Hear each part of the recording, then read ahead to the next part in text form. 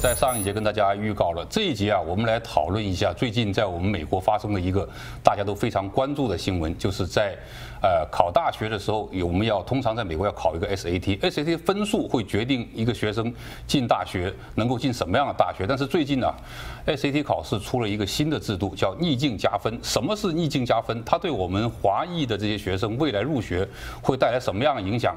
今天我们请来了我们洛杉矶 Mount 社区学院的理事陈介飞，介飞兄你好，这个好。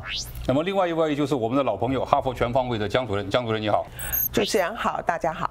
今天请来两位都是十分重要的专业人士，介飞兄本身是哈佛毕业，现在又是哈佛的面试官。那么江主任从事的就是如何帮助我们的这个学生进入好的大学，所以两位，呃。都在这方面有你们独特的见解。那么最近美国的 SAT 考试出了一个新的制度，叫逆境加分。我们先来请教姜老师，作为专业人士。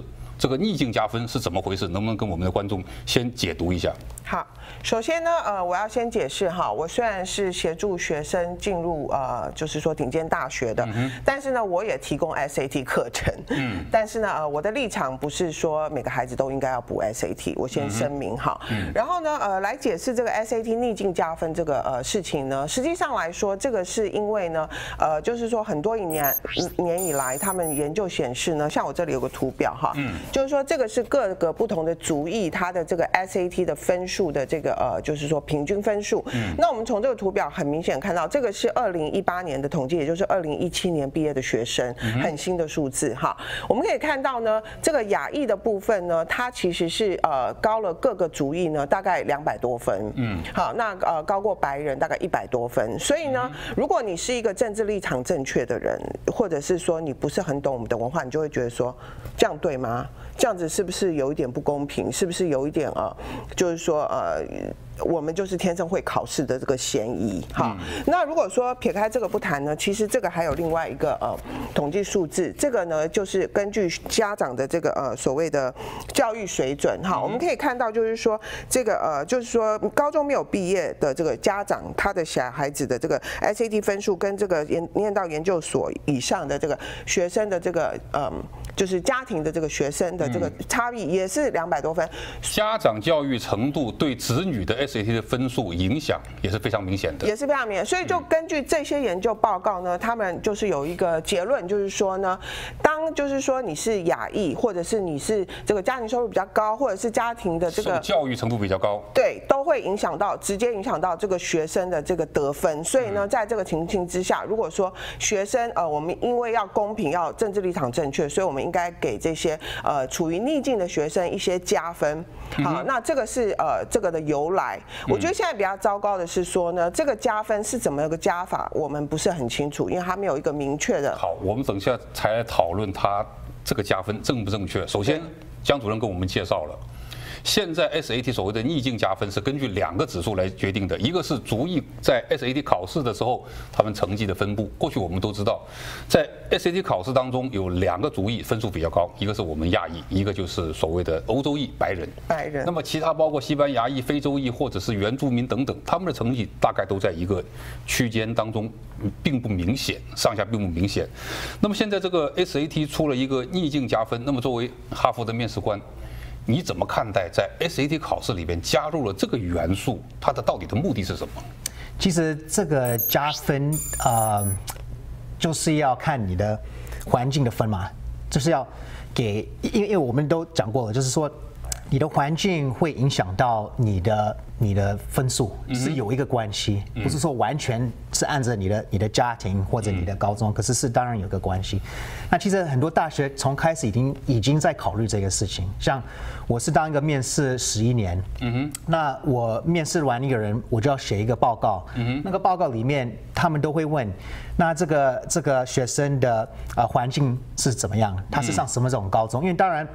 哈佛、斯坦福，他们也不了解所有这个一万以上的这些高中，所以他们要我们这些面试人来说，他是不是上一个比较不太好的学校，是不是上了一他的他的啊成长是不是比较糟糕，那个 crime rate 是不是比较高，嗯。那他自己的家庭是不是有什么问题，应该说出来，像他只有他的爸爸不在，只有他妈妈在家庭所谓的嗯，对，所以这些东西其实已经都在考虑了。可是像现在 SAT 在做的，就是要把这个弄简单一点，所以这些学校就有一个分数，他们也可以看，不只是要呃靠我们的 report 或者学生写的东西。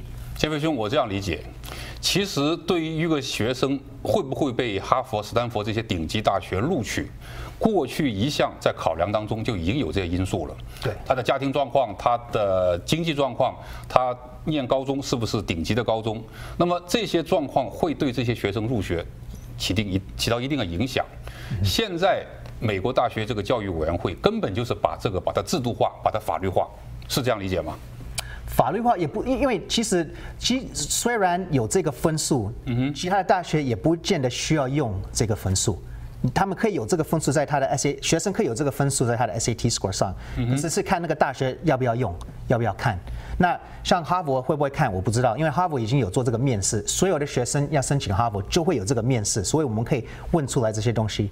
可是很多大学不会给小朋友，就是学生做这个面试，所以对他们来讲的话，可能这个就对他们有很大的帮助，因为就是在在有一个一个 data point 他们可以用。但是 SAT 考试的分数对一个学生能不能进入名牌大学是有至关重要的作用的，江主任，这个看法对吗？我觉得你问这个问题真的非常好。嗯其实 SAT 这个呃分数呢是这个申请的一部分，有些学校就是说也不一定要 SAT 分数，嗯但其实呢整个申请的这个呃就是审核，它叫做 holistic review，就是说整体性的评估，就是方方面面各方面，好，包括你的家庭，包括你的你本人的人格特质，包括你学校的课程 GPA，这些都是。可是呢，我觉得嗯，就是说这个 SAT 它。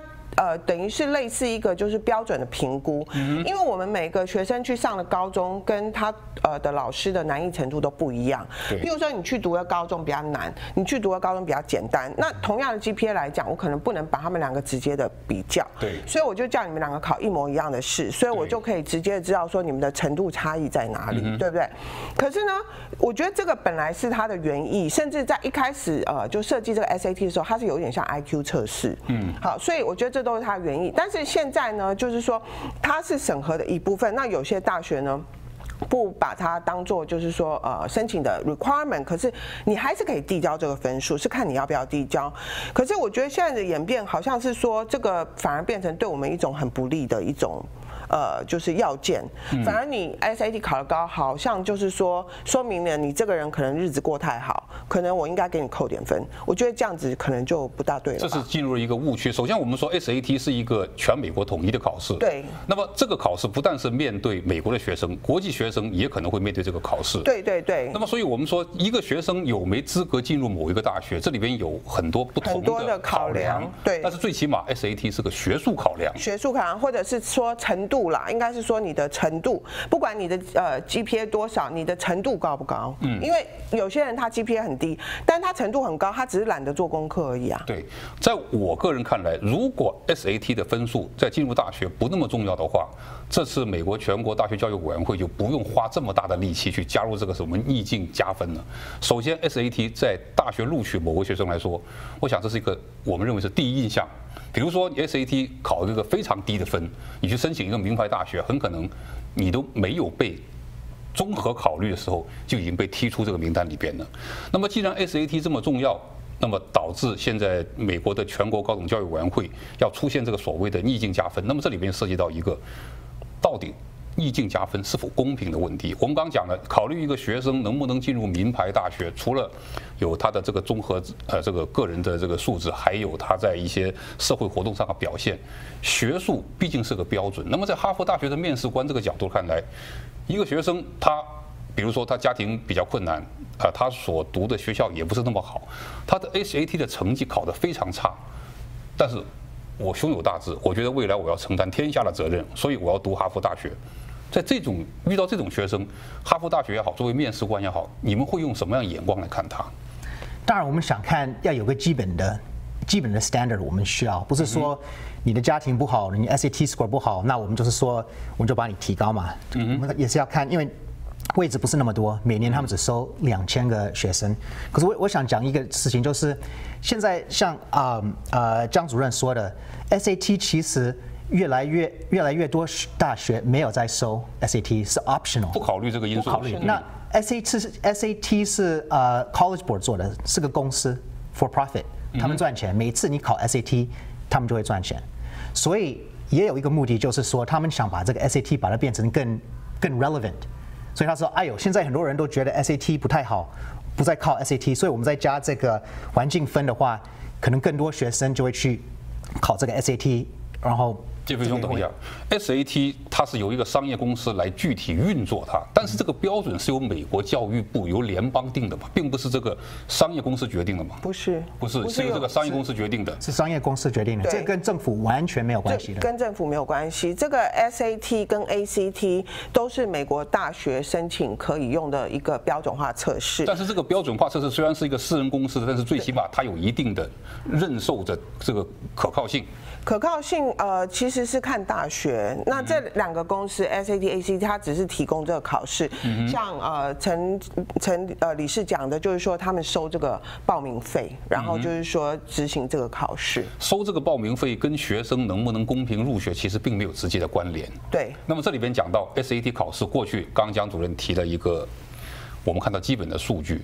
呃，现在哈佛大学正在被一些亚裔学生团体告。那么在这个亚裔学生团体告哈佛大学这个新闻里面，我们可以看到，其实，在过往这个逆境加分这个政策没有出来之前，有很多亚裔的学生要想进入名牌大学，在 SAT 这个方面，学校对他们的要求是特别高的。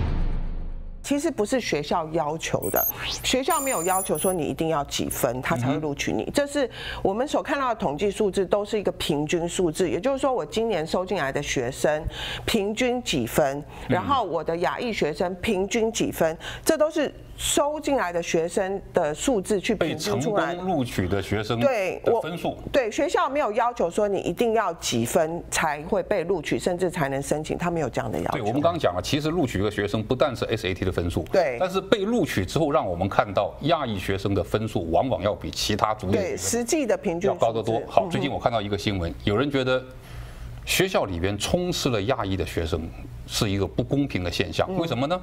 那么有个理由就是我们亚裔学生特别能考试，或者说我们华裔的学生特别能考试。那么这个观点呢，我有个人看法。每一个族裔有自己不同的文化，我们华裔也有我们华裔不同的文化。我们华裔特别善于考试，是因为我们特别重视受教育。因为华裔有句经常挂在嘴边的话，叫“知识改变命运”。这是从我们的好多好多辈以前的人就这么说，从科举考试制度流传下来的文化。知识改变命运，用学习更多的知识，让提高自己的学历，提从而提高自己的经济收入跟社会地位，这种观念是一种不合理的观念嘛？杰飞兄怎么看？我我是觉得华人啊，因为在在台湾，在中国，我们有一个高考，嗯所以华人已经有这个关联，就是有一个。考试是最最重要的。说我们来到美国，我们的家长就会跟我们说，这个 SAT 就是你的高考。可是其实不一样，不一样。因为在在在啊，中国在台湾在所有这些呃亚裔的国家，就是有这些分数是他们能不能进入大学唯一的标准，没有其他的标准。在美国不一样。可是像在美国是 SAT，你是看你的 extracurricular。也是看你的 essay。那我们讲华人，像啊 Jeremy Lim 啊林书豪，他的 SAT score 不是那么高，可是他会打篮球。所以，可是我们没有那么多这种林书豪，没有这么多 Jeremy Lin，。大部分很很多华人的学生就是比较啊按着啊功课呃考试。可是这些其他的大大学也是看你的 sports，看你的 extracurricular 其他的这些东西。杰飞兄，这里面有两个概念，一个概念就是说，首先我们华人学生，我们或者华人的家长，希望他们的子女进入名牌大学，通过受良好的教育，改变自己的经济地位、社会地位，以及在甚至政治地位，这种观、这种想法、这种价值观有没有错？那么第二个才是我们从中国大陆、从台湾来到美国，怎么样适应美国的教育制度？我们先讲第一个话题。我们华人希望通过受教育改变我们自己的社会地位，改变我们的经济地位。所谓的知识改变命运，这个价值观，江主任，你觉得有没有错？我觉得这个是没有错，但是有一点点误解在里面。因为呢，所谓的，譬如我举例好了，因为对很多家长来说，他会觉得所谓的常春藤藤校就是这个。顶尖大学的代言词，他们的目标。对，其实顶尖大学包含很多，不是只有常春藤。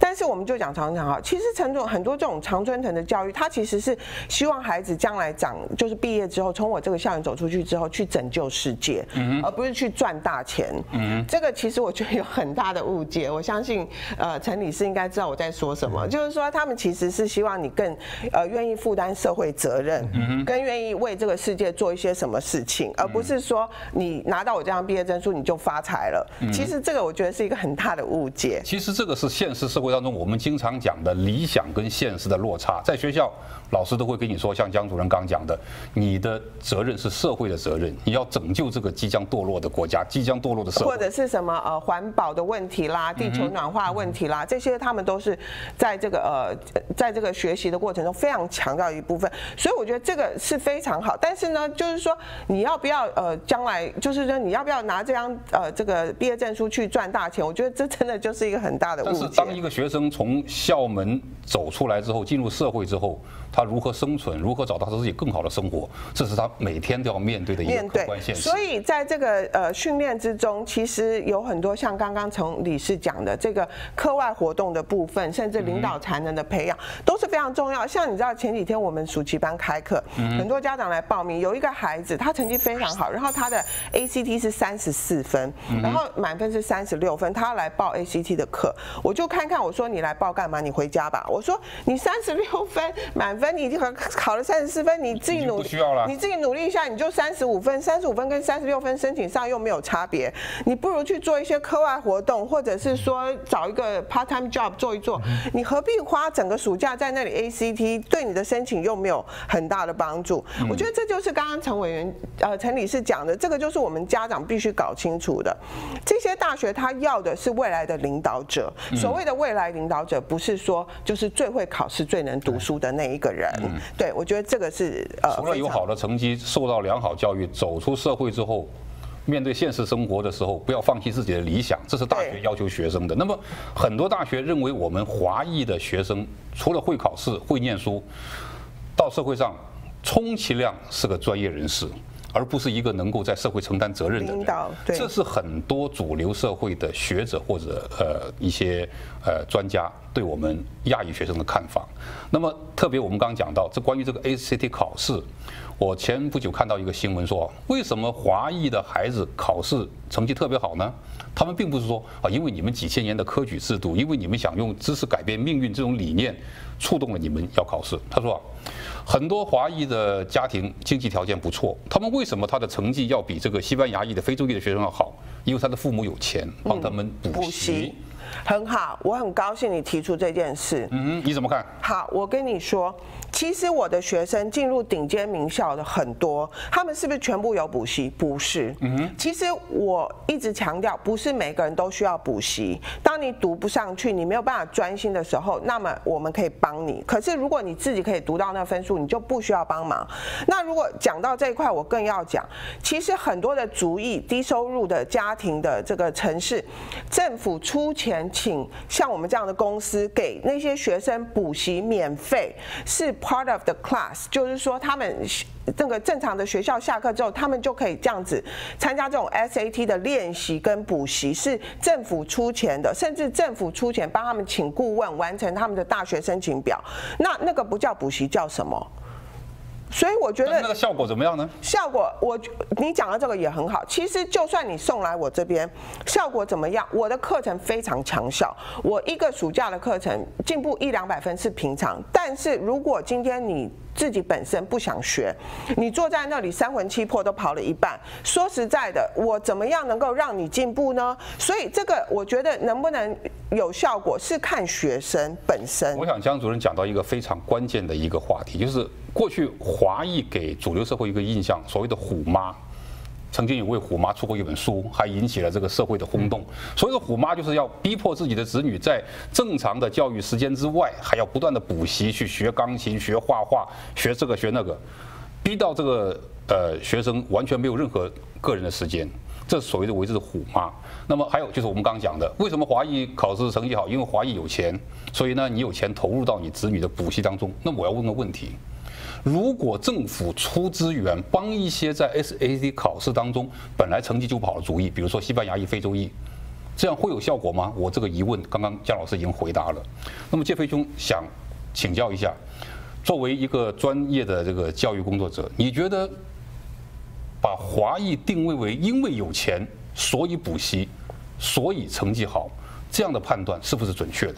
当然不准确，因为我我做呃这个呃做这个访问十一年了，嗯，大部分我访问的都是华人，所以我看到很多这些 application，嗯，那不是每一个学生都是有钱的，不是每一个学生都住在山，不是每一个华裔都经济条件非常好的，完全不是。我我有看过很多，就是他们的家庭环境不是很好，他们也不是上啊 San Marino 钻石吧这些学校，他们也是啊上其他的比较比较 average 的学校，然后。我我 interview 这些人，然后我就是用我这个很 objective 的 criteria 嘛，不是说因为他们是华人我就给他们加分。那按照这个，大部分我看到进到哈佛的还是亚裔的，还是华人，然后很多都是他们的背景都是很不同的，所以这个分数，这个环境分数不见得是对我们不利，因为我们要记得，不是每一个华人都是家庭有那么多钱的，所以这个也许也会帮助他们，让让大学知道。我们不是因为是华人，我们家家家里就有钱，因为也许他们有这个感觉，嗯，所以如果我有这个分数的话，他们就知道我们不能说哦，你是华人，你一定有钱，你的分数才是这么高。也许这个会帮助我们的学生。所以其实现在主流社会，特别在教育这个这个行业里边，对华裔、对亚裔的偏见呢，我觉得是十分严重的。这个偏见表现在几个地方，就是第一，我们刚讲的，认为华裔、亚裔就是善于考试。第二，为什么你们善于考试呢？是因为你们有钱，你们经济条件比较好，你们可以请到像姜老师这样高校的这个补习的机构帮他们提高成绩。第三，所有的亚裔的孩子虽然进入了名牌大学，他们毕业出来充其量成为一个专业人士，并不能承担社会的责任。在这种偏见之下，现在 SAT 这个逆境加分是不是针对亚裔所提出来的呢？姜老师怎么看？其实我真的觉得不应该这么说。说实在，这个逆境加分。说，或者是说大学审核是不是对亚裔有一个歧视？我觉得这个真的是一个大家必须思考的问题。其实我不认为他们是歧视亚裔，甚至歧视中国人，他们是歧视你这个人的背景，整个 whole package。比如说你是亚裔，你住在某个地方，像陈陈女士说的，然后你家庭年收入很高，你家里的这个家长的这个呃教育背景很高，我觉得这些都是考量。可是我觉得最大的歧视是你很 typical。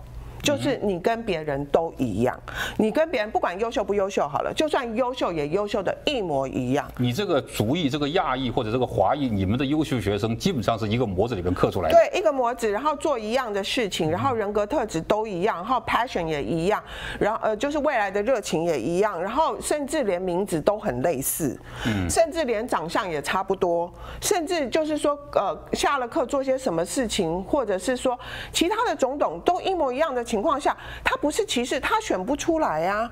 嗯。